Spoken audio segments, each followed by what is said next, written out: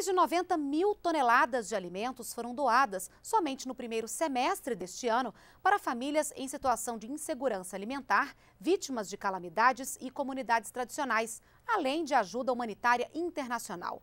As doações são da Companhia Nacional de Abastecimento, a CONAB.